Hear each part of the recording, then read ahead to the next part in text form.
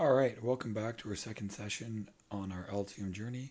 So last time we left off with this schematic here, and we're going to basically take it right from where we left off, and we're going to start by creating a printed circuit board. So I already have my printed circuit board added here in my design, as well as I have the, the libraries that I've been pulling parts from.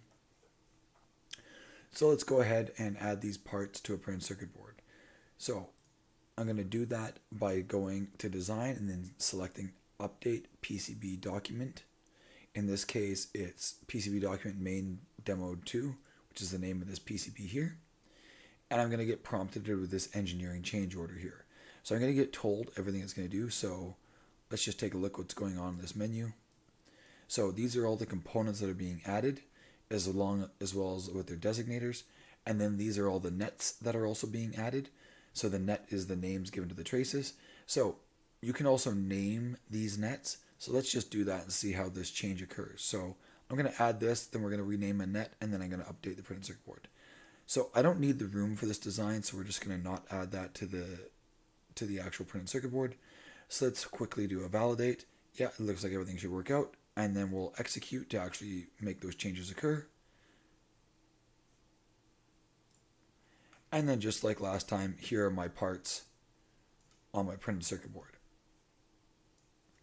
So we'll come back to this in one moment. Let's just take a look at how this will change if I add a net. So quite often we name nets so that we have more information. For instance, I might want to call this net here um, red and green LED. So if I just take this line and double click on it, I now have the ability here um, to modify the parameters of it. So for instance, I can add information here like the name uh, for this parameter. I can also right click on the net here and I can also modify um, information about the net as well. So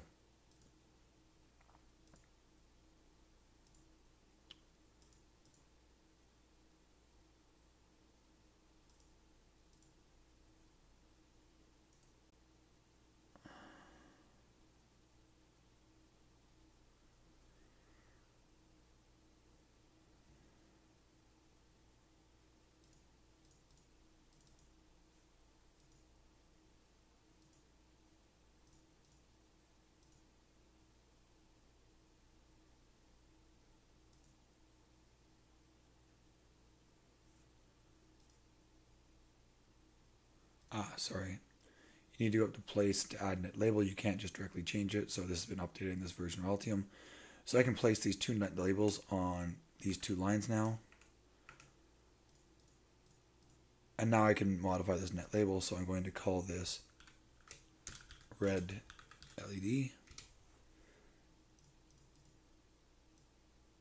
And we'll call this green LED. Now I could have some further information as well. Like I could uh, label these nets going in and out of say my voltage regulator here if I want to better prioritize or name the, the uh, nets in this design. But let's start with that for now. So first things first, I need to save this if I actually want the changes to take effect because Altium does not push any changes unless it's been saved. And I'm going to go update PCB document and here we go. It's changing those two nets to these two parts.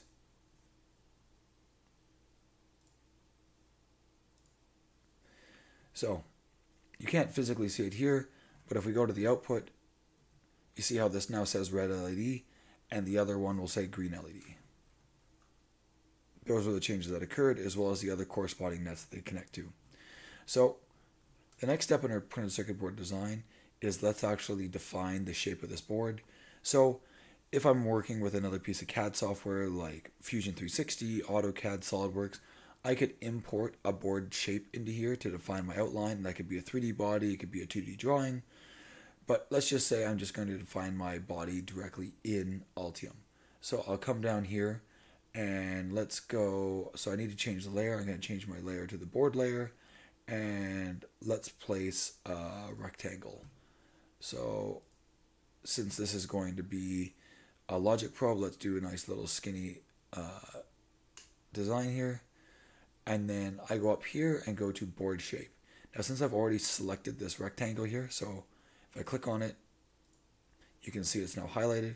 And if I go up here to design, to board shape, I'm going to define board shape um, from selected objects. And there we go. That is now the new board shape that I have. So let's go about actually printing, placing some components.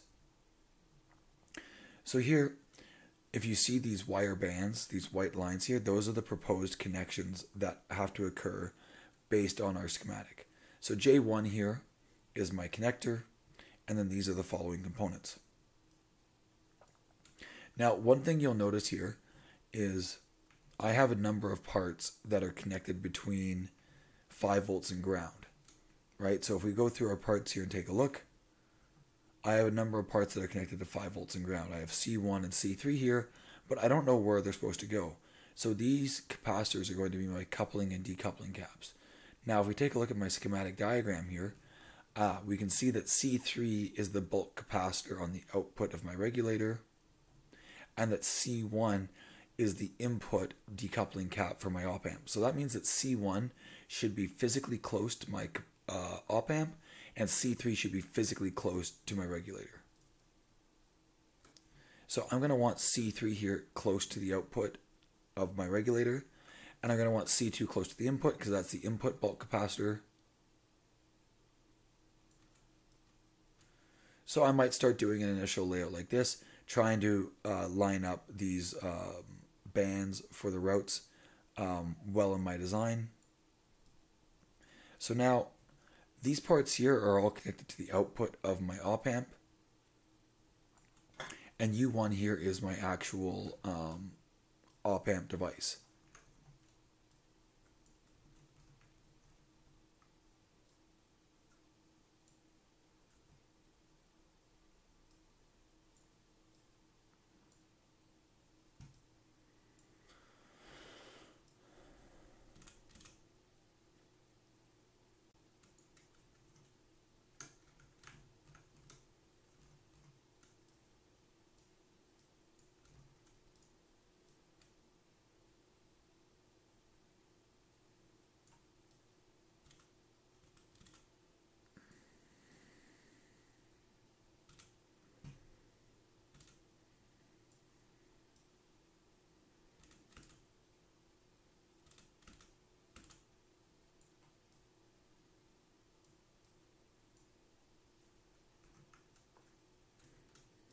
So part of this is just going through and taking a look at how we can best arrange these parts to eliminate the wire routes. And what typically ends up happening is you do a design and then you end up redoing the design once you start routing it because you find uh, how to optimize the, the layout. So quite often when you're doing this, there's no good way to set up the routes ahead of time. You're never going to get it perfect on the first try.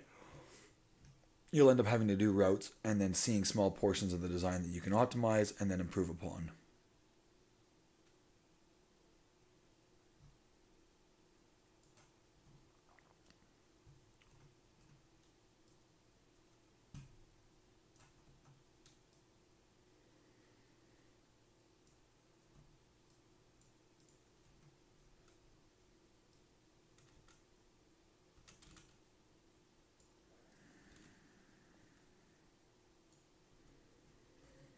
So let's start routing this. So one of the first things I'm going to want to do in this design before I actually start routing, which I should have done even before placing or bringing in any components, is I should have went up to the design here and I should just open up this rule section.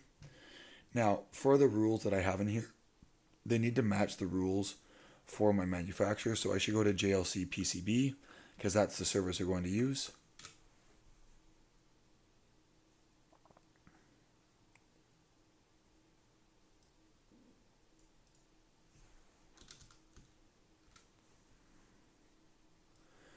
And if we bring up their website and take a look, what I'm going to want to look at is their resource section or their capability section. So in here, it's going to provide me the capabilities of how they can build their boards. And then specifically what I'm going to want to look at is I'm going to want to look at things like drill hole sizing. So in here, I'm going to want to go through this list and underneath um, uh, manufacturing here, there's a number of things I'm going to need to specify. And then same thing here for routing. There's a number of things I have to specify. So under the drill hole sizes, I'm going to have to go through and specify these. I'm going to have to go through and, and the minimum clearances and the minimum annular rings. So depending on the thickness of copper, these also change. And PTH stands for plated through hole. So again, these values change depending on the thickness of copper. In general, most boards we get made are one ounce. You for a premium, you can get two ounces made. So this is the thickness of copper that's on the actual outside of the printed circuit boards. So my first step is going through these and then making sure my rules here match JLC PCB. So for instance, here in the rules, I might look at things something like hole to hole clearance or V to V clearance, so 0.5 for hole to hole. So in here, I'm going to need to find the appropriate um, rule. So here, for instance, hole to hole clearance, and this is currently set to um, 10 mil. So I'm going to want to cancel this and then change it to millimeters to match JLC PCB, open up the rules again, and then I'm going to want to change this to um, the appropriate setting. So in this case, uh, our hole to hole clearance was 5 millimeters. So I'm going to want to go through and make sure that the values here, or sorry, 0.5 millimeters. So I'm going to want to make sure that the value here for all of these matches all the rules from JLCPCB for the capabilities so that I can ensure that my board ends up being manufacturable. So same thing here for like routing widths. I need to specify a minimum, a preferred, and a max width. So in general, our minimum is about 0.25. Our preferred is about 0.5. And our max is typically around um, around 2.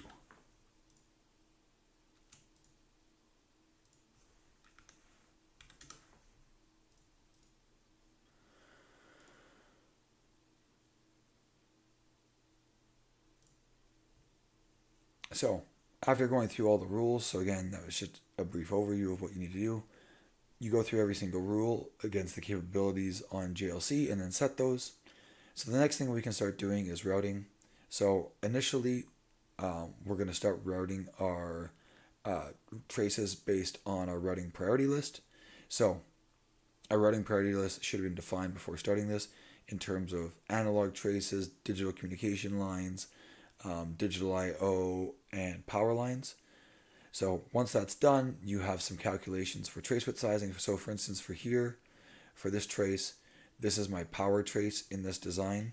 So I should have a calculation already done for my expectation for how much power this is going to dissipate because I'm going to need to know how wide to make this trace. So for instance,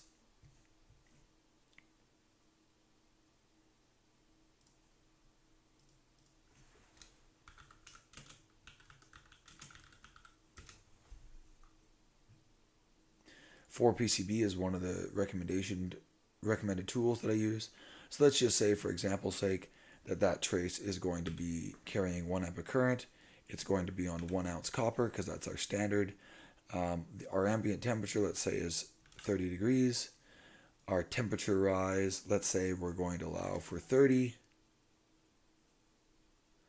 And let's take a look at the length of this track. So control M is the shortcut for measurement. So in this case, this is 457 mils long, so that's half an inch. So our overall trace length in this case is 0.5.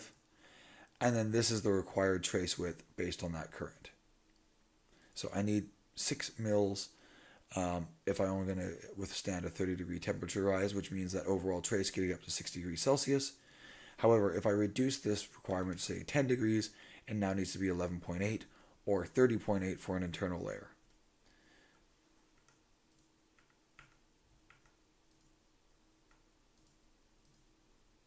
So the trace that I have specified here is 0.5 mils, which is essentially uh, 20 mil wide, a little bit less than. So there's my first trace coming through from my connector here through my filtering cap, right? So we want the power flow to be through our component into the connector. Ground will be one of the last things that we pour with the Polygon Connect. So I'll show you guys a Polygon pour at the end of the build. so we can continue our route here. So out of this, I'm going to then go through um, my C3 cap, which is the bulk filtering cap for my um, voltage regulator, and then C1 is the decoupling cap for my uh, um, microcontroller. And again, we want the current to flow through these. Now, a nice other rule of thumb that I like to do is I like to place a via right behind uh, any filtering caps. So if I press tab once I have the uh, part selected, I can go over here and choose the net I want it to be associated to. So in this case, it's going to be associated to uh, the net ground because that's what I want this to be coupling. And then over here, I can set my hole size and my diameter. So in general, I like to say um, the hole size should be equal to the trace. So I'm using a 20 mil trace here, well, this should be a 20 mil hole with double the pad size, so a 40 mil pad. And now if I hit enter, I can resume routing. So I'm going to place one of those behind each one of my ground pads for my caps so they have a good connection to the ground plane. And then generally it's also a good idea to place it near uh, microprocessor grounds as well. So I've done placing my vias. Let's continue with our, our interactive routing. So let's take a look at some of the next routes here. So I have this route here from R4. Okay, that's the only way, only section it's going to. I also need to route U1 to U1 here. Oh, and if you look, I need to now route up here to R1, but I can't push through this. So that's a problem. I'm going to have to reconsider possibly how I do that. So let's take a look at some more of our routes here and maybe I can figure out a better routing pattern. So net U11, oh, that needs, just needs to go there. Ground to ground, that's fine. Net R4, where does this need to go? Oh, it needs to go down here. And net R1, where does this need to go? Oh, it needs to go to that chip. So maybe I can space these in a slightly better location here to optimize these routes.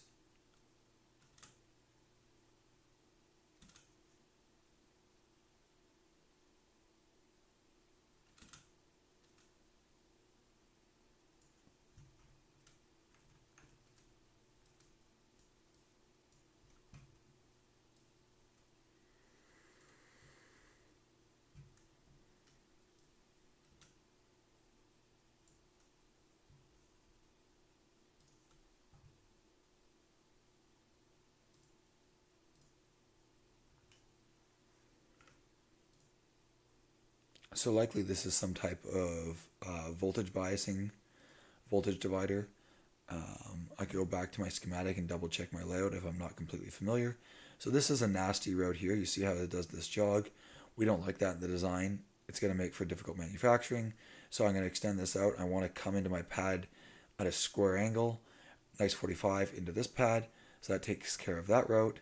And now I need to route these other two connections here.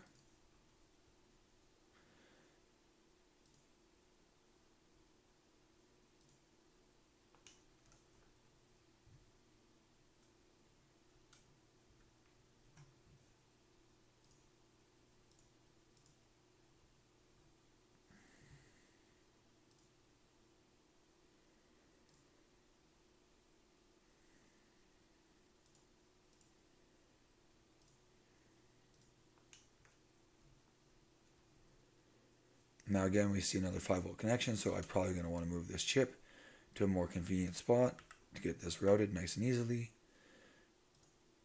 So again, a bit of printed circuit board design is coming up with a design and then finding uh, an improved alternative to it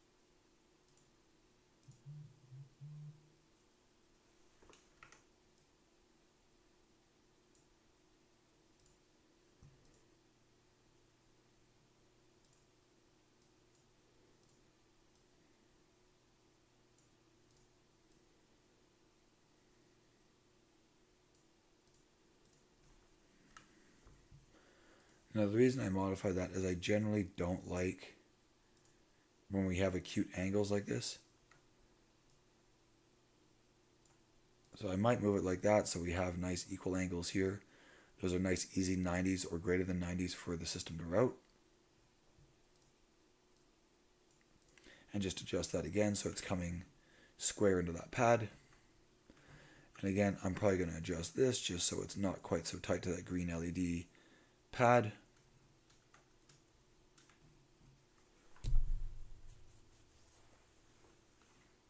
I still have these two traces I need to deal with. I need to deal with red LED and green LED to actually get it routed over here.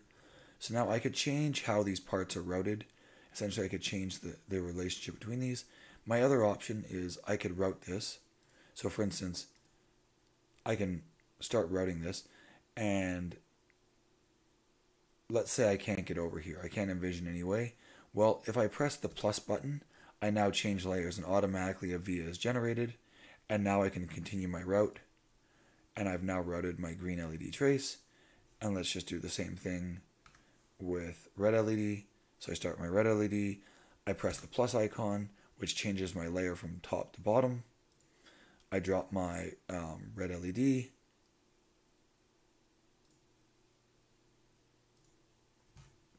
and now I have my two LEDs routed from the output of my op amp.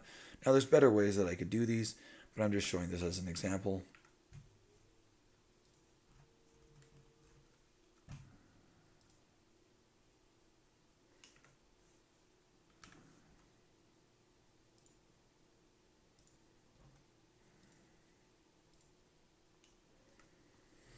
Okay, there we go. That's our first set of traces all routed, except for we still have to route ground. So now in order to route ground, you could also see that I could make this board far more compact or I could space these components out much further and have more room for routing and possibly eliminate these vias. But let's just assume for the moment that this design is actually acceptable. And let's go on with our process. So now what I want to do is I want to do a polygon pour and I'm going to go to, into the polygon manager. So here in the polygon manager, I'm going to create a new polygon. What am I going to create it from? So I'm going to create it from board outline. I'm going to connect this to ground. It's going to be on the top layer, and I'm going to name this top ground. I then want to specify the smallest islands, i.e. what's the smallest amount of copper that I want to remove. What's the smallest neck of copper that I also want to remove. And we always want to remove dead copper. And we also want to pour over all same net objects. So now if I click apply, this is going to show me the um, this is going to show me the polygon pour that's going to be placed on the board and we're actually going to also want to do this on the bottom layer. So let's just uh, basically create a new polygon from the selected polygon. And now I have the second one here and we're going to relabel, relabel this bottom ground I'm going to change the layer on this to bottom layer. It's still connected to ground. All these rules are still true. And we're going to click apply. And now I have uh, a pour on the top and on the bottom. So there's my bottom layer pour. There's my top layer pour. And quite often the reason that we want to do both top and bottom layer pours is so that we have good connection between our components.